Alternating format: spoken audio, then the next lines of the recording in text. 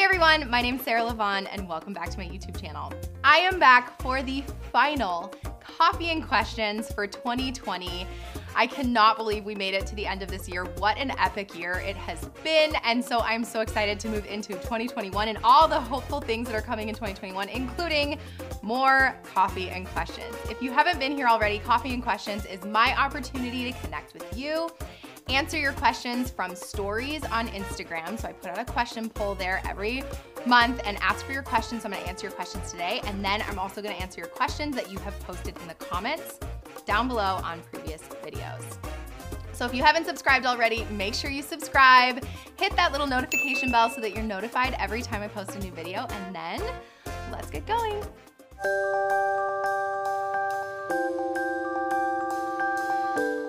Before I forget, I wanna mention about my phone case for today. So I just recently put this phone case on. This is from a woman here in LA who started her own company based on the fact that she had a baby and then they and then was trying to take pictures of her baby and her baby would never look at the camera. How many of you have this issue? I know for me I had this issue with my nephew. I constantly have this issue with my nephew and so she made these phone cases that are in big black and white images, which is what newborns can see. They're gonna be drawn to those like really bold, dark and light structures or shapes. And so she made these phone cases with the idea that it's something for them to look at and then their eyes are drawn to your phone, which helps you get better pictures. Plus the phone cases I think are so cute. So the company is called Maisel. They did send me this case. She has no idea that I am doing this. So surprise to you because I do actually think that it's such a clever idea. When all of us are out, we're all taking a thousand photos of your newborn or your baby or your toddler or your child. And so when you have something that's gonna catch their eye, you're gonna likely get better pictures. Thought it was a great idea. So I will link them down below. I will probably try to find a promo code for you as well. I'll reach out and get one for you. Put that in the description box down below if you wanna grab yourself a super cute little eye-catching for your baby phone case. All right, so we are getting to your questions. I'm gonna try to be as short-winded as possible. Knowing me, it's not gonna go so well, but I'll do my best. Let's head on over to Instagram. Um, now, before I do that, I actually just got off of a prenatal visit with one of my virtual clients. They are in Hawaii. So shout out to Gerald and Sarah. And so I was telling them that I was about to film this, and I was like, Do you have any questions for Coffee and Questions? She actually had the best question. So this is Sarah's question from Hawaii. She says that she saw online um, that Kourtney Kardashian pulled out her baby from her vagina when she delivered, or AKA, like she delivered her own baby. Is that an option? Is that something we can do? Is that even safe? Was her question. So I will start with that one and then I'll get to Instagram because I think this one's really fun and we've seen it all. You've maybe seen that trend. That, in theory, could potentially be an option for you for your upcoming labor and birth. So here's what I would say. If you or even your partner is interested in actually delivering the baby, what would happen is that once baby's head is out, it's a great angle, then the doctor would have you reach in, reach down, and then once their shoulders start coming, you would grab under the arms and just lift towards you. It's super simple. Honestly, once the head's out, then it's like the body just like slithers its way on out so quickly and easily that this, yes, it would potentially be an option for you if your doctor feels safe with it. So this is a great question for your doctor. If it's something you're interested in, go to your doctor at the next prenatal visit or your midwife at the next prenatal visit and say, hey, look, I saw this thing. I heard about people delivering their own babies. Would it be okay if I reached down or my partner reached in and helped to deliver the baby? I know if you saw my sister's birth announcement video where they sang a song, you'll see pictures where my brother-in-law actually got to do this too. And it's so special and so sweet. And you can like, you're the first one to like grab and hold the baby and then mom or birthing person then gets the baby on their chest. I think it's like a very fun option for you given that your doctor says that it's safe. Now, mind you, obviously in an emergency, then that would no longer be an option. But in theory, given that everything's everything goes normal, ask your doctor and then let me know if you or your partner deliver the baby because I think it's super fun. We're starting with a heavy hitter today, all right? So this is from AB Thompson. I actually mentioned this on my stories because when I put out the poll, I saw this question came in and I was like, ooh, hitting a sweet spot with me because if you don't know already, one of the things that Bundle Birth does is there's an entire branch of Bundle Birth nurses, where we are helping these nurses who are a lot of times newer in their labor and delivery nurse career, even experience, though we have a bunch with a bunch of experience as well that we're helping them to have the tools to better care for you. So we do online nurse mentorships. There's different trainings. I have a workshop coming up in April or in April, in March. I should know when it is. It's in in March. And so, one of the things that we um, strive to be here at Bundle Birth and Bundle Birth Nurses is evidence based and ethical. And so, part of being ethical, and what ethical to me just means is that we're doing the right thing. So, you as a patient, ideally, is doing the right thing for you and your baby and your body and your future, right? That your provider is there to do the right thing and give their best effort. Provider meaning doctor, midwife, nurse, anybody that comes in contact with you, that they're doing their absolute best to do what's absolutely best for you in a non coercive, with no ulterior motives type way. Okay, so let's give everyone the benefit of the doubt. So here comes her question, and then I'm gonna get into my rant because I promised you that I would answer this question. So let's hit it up right away. AB Thompson says the hospital nearest me has policies that I you must be laying down for delivery. Why? Follow up part two question says, is it appropriate to say, nope, I will birth where and how I want, want regardless of the policy? Okay.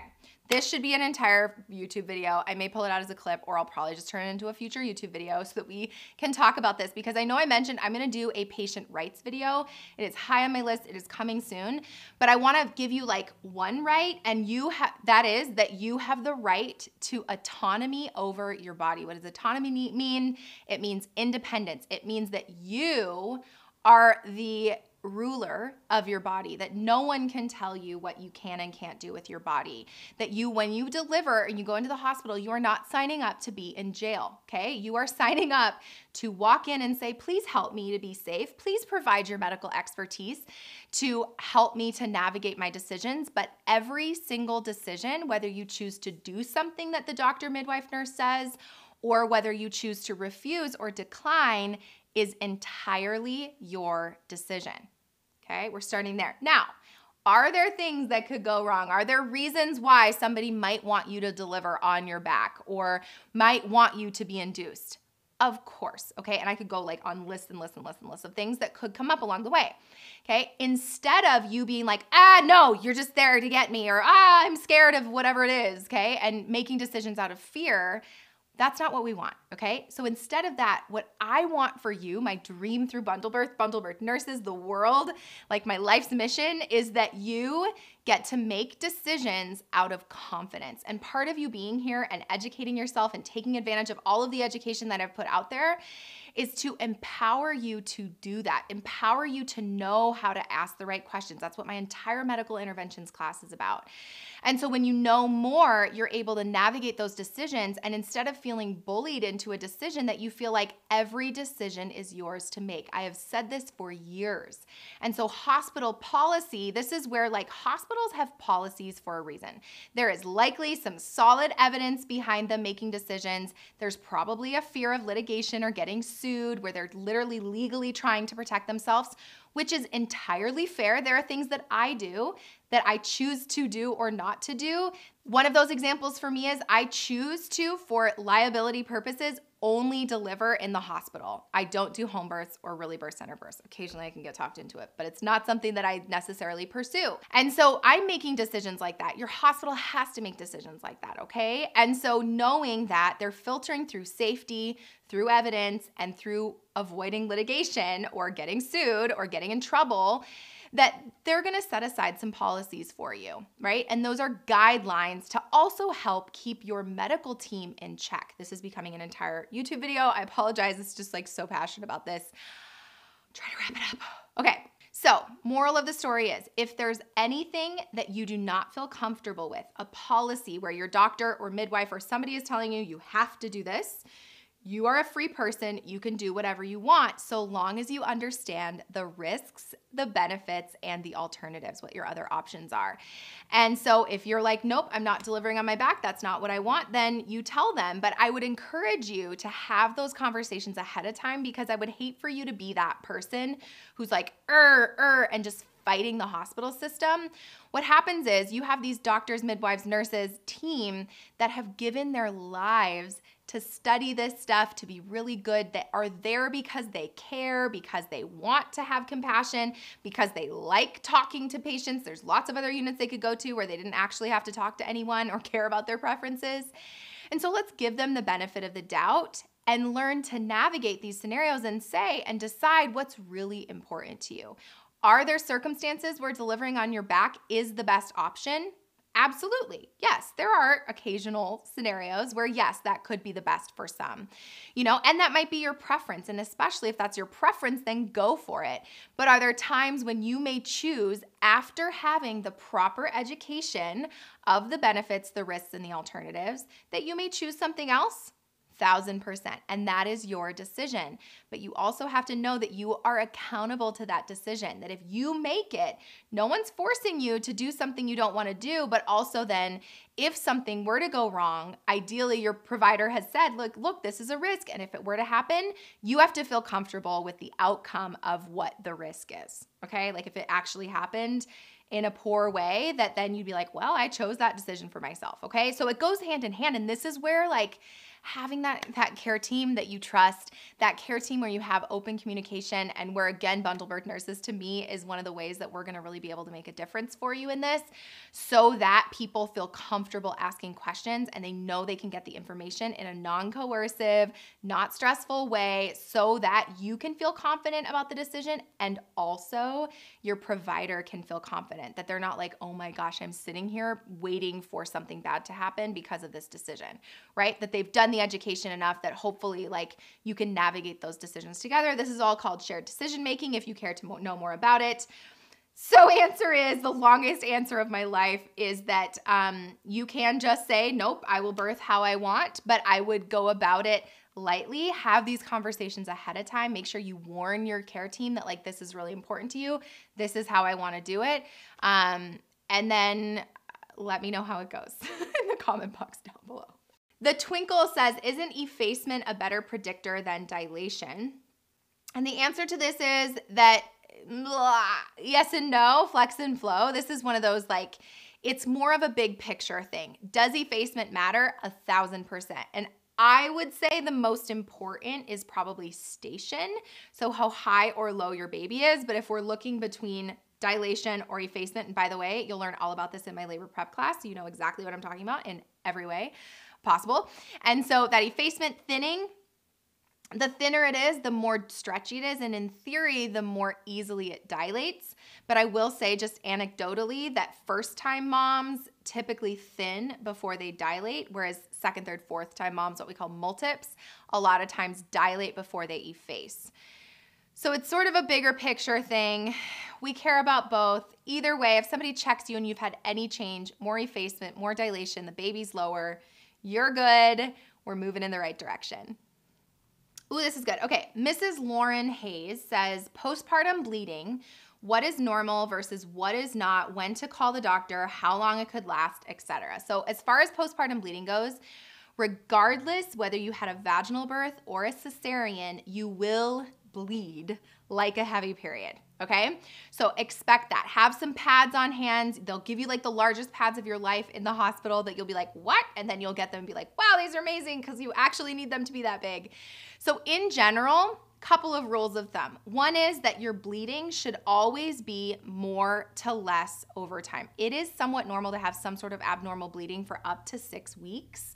Afterwards, with like some minor spotting, if you've been pretty inactive and then all of a sudden you get up and you're more active in the daytime, you go for a walk, you might see some more bleeding, that's okay.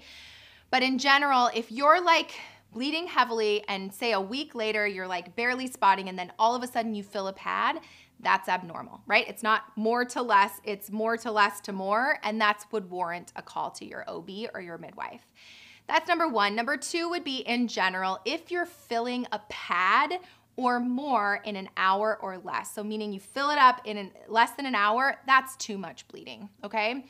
The other thing is clots. So it is normal to see some clots. So this would just be like pooled blood that when especially when you're laying flat, you have blood, it has has different types of cells like platelets and other clotting factors in the blood that causes the blood to coagulate or form like a little like jello ball kind of thing. And so basically when it sits there, instead of it just flowing out, it sits and then all those cells can like coagulate the blood and they turn it into a clot, which is just like a like I said like a ball of jiggly chunky blood.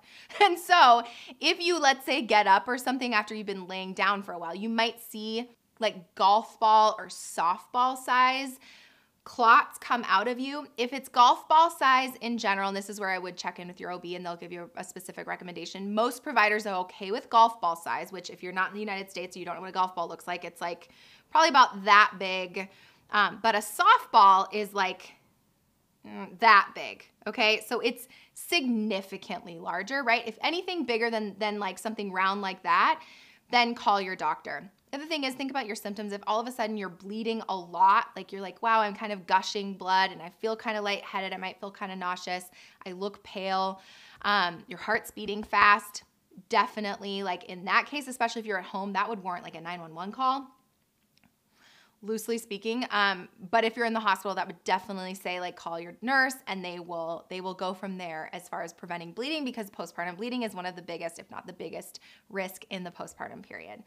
So more to less golf ball size or less otherwise call and then filling a pad or more in an hour or less are my rules of thumb for postpartum bleeding. This person says feeling silly for asking but so i'm not going to give her name just in case she feels like she wants to be anonymous um, lubricant for delivery. This is not a silly question. I told somebody today in a meeting, like, for me, there's no silly questions. In fact, if you stump me with a silly question or one that I'm like, oh, that's a new one, I love it because it's very rare for me to come across a question that I've never heard before. So please try and throw them in the comment box down below and we'll see how crazy your questions can get, which is like the fun of my job, honestly.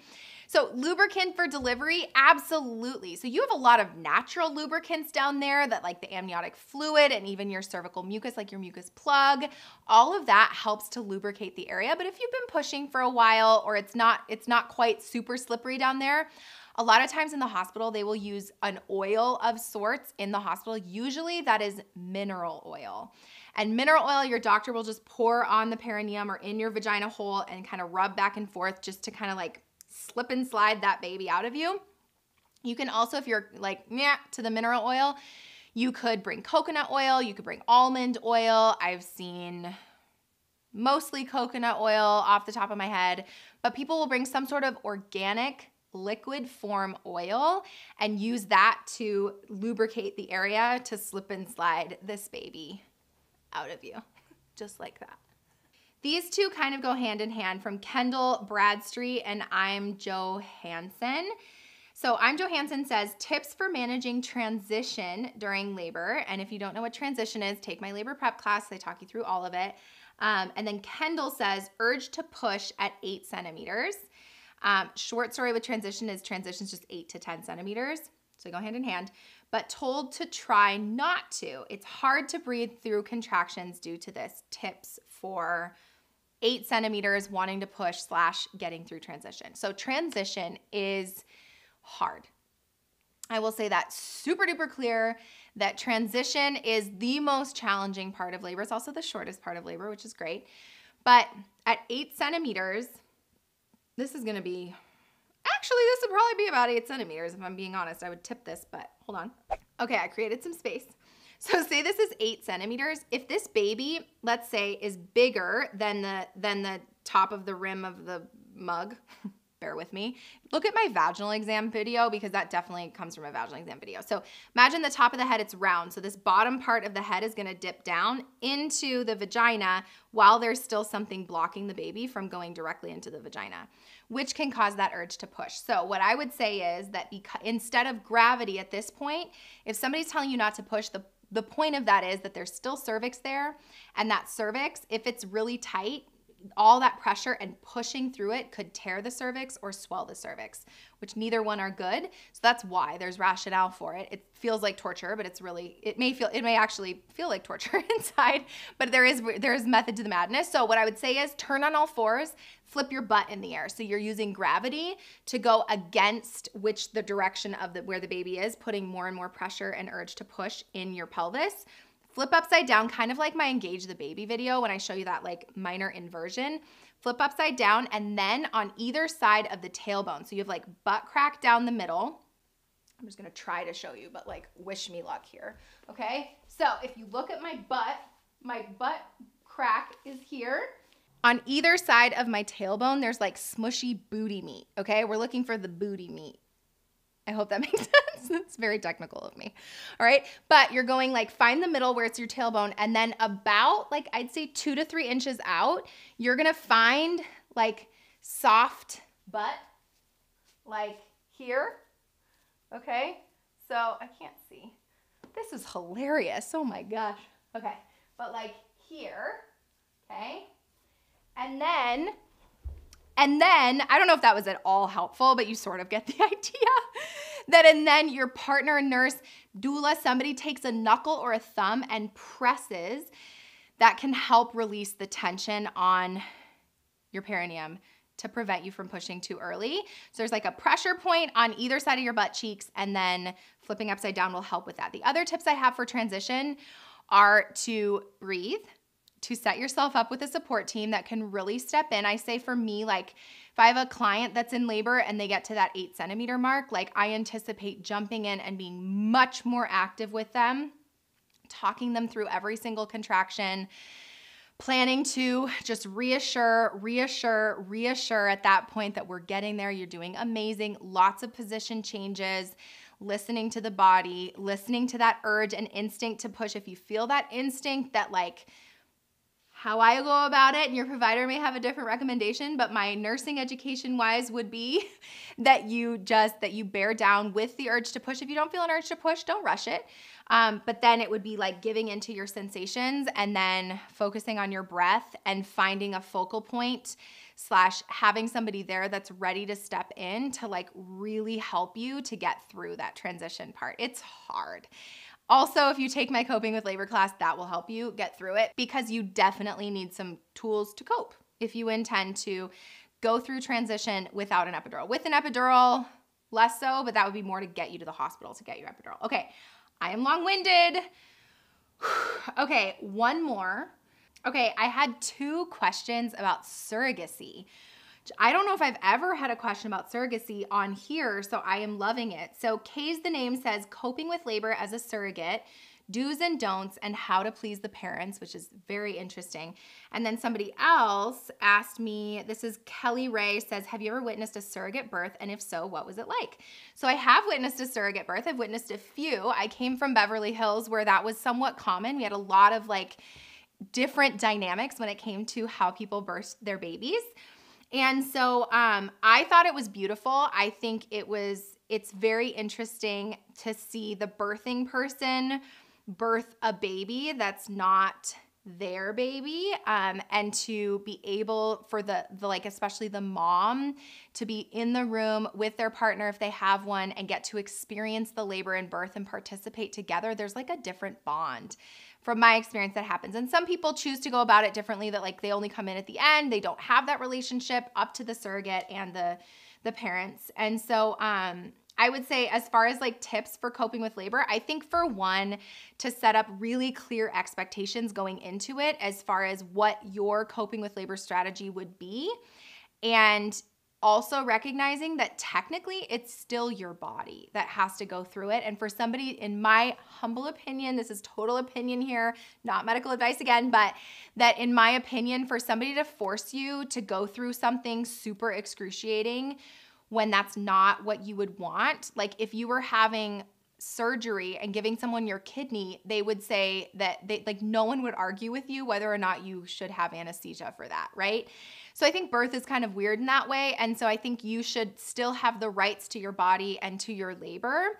Um, obviously, listening to the parents and saying and taking that into consideration, but I would say that most things on like the safe side are relatively very safe when it comes to coping with labor options. And if you don't want to go without an epidural and you don't want pain medication options, that I think they should be supportive of that too and probably provide you with like a doula or let a labor support person be there to help you because going without is is hard enough and to do it alone makes it even harder. So I think setting clear realistic expectations with your family making sure that you're on the same page as far as like them recognizing that it's your body and you still have the right to autonomy over your body is going to be really important and then do what you want. Okay we're going to youtube. Let's see if i can find your questions because i did not prepare for this at all. We're just going to scroll and see what more the more recent questions have been. Okay Haha. this is from my setting the labor mood, having a calm hospital birth experience video, which is one of my most recent videos. I think it's my most recent video. Um, they say your second baby comes fast. Is this true if your second is a VBAC, or does your body think it's your first baby? This comes from Sarah Gutierrez. So, Sarah, um, if you haven't had a vaginal birth, really when they say second baby, what they mean by that is second vaginal birth. So, that first vaginal birth, no matter if it was your first pregnancy or not, typically does come faster. Did I say that right?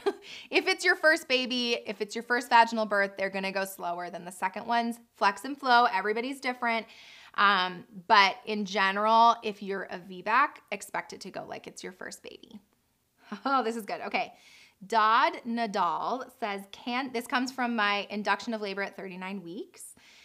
Says, can they induce labor while the head is not engaged to the pelvis? The answer to this is a thousand percent yes. I don't know if I've ever seen a provider choose to induce or not based on whether or not the baby was engaged. That honestly, even for labor, sometimes your baby isn't engaged in the early parts of labor. And as labor goes on, that's what brings baby down, which engagement just means baby is lowering into the pelvis. So the answer is yes.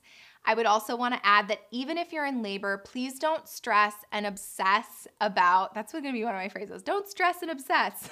no stressing, no obsessing about whether or not the baby is engaged. You want to do all the things I talk about in my engaging the baby video because that will help you but the baby engages with the contractions throughout labor. You don't expect the baby to be fully engaged, or you would likely be like seeing the head, right? That's like the lower the baby is. So that's a process. It happens over time. Ideally, yes. Do we want baby lower and lower? Will that help you? Yes.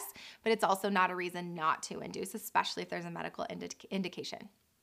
Of course, I'm going to answer this one. Kristen Nall she says, I can't seem to find any in person childbirth classes. Are there some available virtually?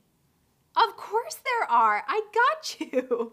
So I have, you know this, if you've been watching me at all, I have all sorts of classes online um, with all the things that you need. If you're a VBAC, I got a VBAC class. Coping with labor, everyone should take. Everyone should take the childbirth class. I have infant safety and CPR. You can schedule a one on one with me, potentially virtual support although I am booking up. Um, so let me know, but don't worry, there's still childbirth classes available and they're all online, on demand, lifetime access over at bundlebirth.com. Okay, so this comes from Creative Man is Back Ruby from my C section recovery video. They say, um, What about taking the catheter out?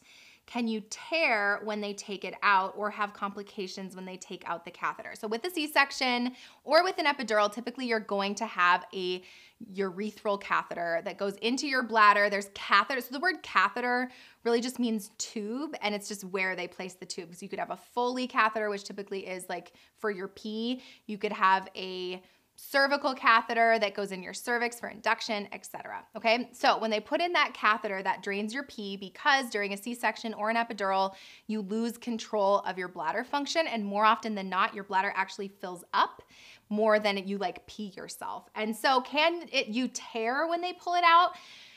No, not typically because it's like the size of your pee hole. Inside, there's a balloon that they fill up, and that's what keeps it from coming out. So, I suppose if you were to like yank it out, please don't do that. You will not be a happy camper later in life. Um, that could be a problem. Or if it's not fully de- deflated, the balloon isn't fully deflated when they go to pull it out, but your nurse is gonna feel resistance. So, I can't imagine that really being something you should worry about the complications of taking out a catheter, honestly, it's more the complications of having the catheter and the risk to having a catheter. Biggest one we think about is infection because we call that catheter a vector or something that can allow for bacteria to creep up into your urethra. And if you've ever had that happen before, that would equal a urinary tract infection. And so the risk of a catheter is a UTI, urinary tract infection Um, flex and flow. If you have a C-section or an epidural, it's sort of a non-negotiable, like it comes with the package. So that might just be a risk that you have to take. Otherwise, your alternative would be to just not have a C-section or an epidural. Um, so talk to your provider if you're worried about it. But yes, you do have a catheter, and the biggest risk is UTI. Not super duper big because they use sterile technique. Hopefully, they've used sterile technique, and then um, not typically going to tear on the way out. Okay, this is a fun ending one. this is so random, guys. This is you're gonna be like, huh? But this comes from my last coffee and questions with Justine of Bundle Birth Nurses. This is probably a nurse, so I'm not forgetting you nurses. Um, if you want more nursing related videos, please let us know because we could do some more like nursey themed videos. They might be interesting for you as a patient or not, and they may also be interesting for nurses. So we'll we'll see about that. So LD Baldera says, what are the best nursing shoes? I'm always looking for an awesome pair. And my answer to that would be I always wore Danskos. I also had a pair of orthotics that I put in some Nikes, just some regular tennis shoes. But Danskos are great because you can wipe them down. So I wore Danskos forever. The other new brand that I love and um, have heard great things about is Clove. I can link them down below as well. So that is my quick answer to the nursing shoe question. Just so fun and random. Thank you guys so much for being with me here today. If you have other questions for future coffee and questions, make sure you put them in the comment box down below. I typically do go back to my previous coffee and questions to look for questions to answer on the next one. Merry Christmas to all of you. Happy Hanukkah, happy Kwanzaa, happy holidays to everyone. I just, I know I'm not alone in the fact that like we have made it. So I also want to acknowledge like congratulations to all of us. 2020 has been a challenging year. It has also been a thrilling year. And 2021, I am so confident and hopeful that 2021 is going to be such a turnaround year for us. That so many beautiful babies are going to be born, so many second, third, fourth, fifth time babies are going to be born. For those of you that are maybe struggling with with infertility or getting pregnant, I am with you. I feel you. I send my love to you. I have some interesting new videos coming in that realm as well. So stay tuned here. If you haven't subscribed, make sure you subscribe down below. Head on over to Bundle Birth and pick up your online class or hit me up if you want to work with me one-on-one. -on -one. I am here for you. And then until next time, don't forget to flex and flow and I will see you soon. Bye. I'm back. so my goal today is to have fun while filming airplane. a loud airplane. Oh, that's hot. I don't think I have deodorant on. Not that it matters. Okay, we gotta watch the rules. The little poochers. No poochers. Right here is good, huh, Bry? Bry guy, this thing is on. You guys just have a lot of really nice things to say. Goodbye. Bye 2020. See you later. See you in 2021. 2021. Bye.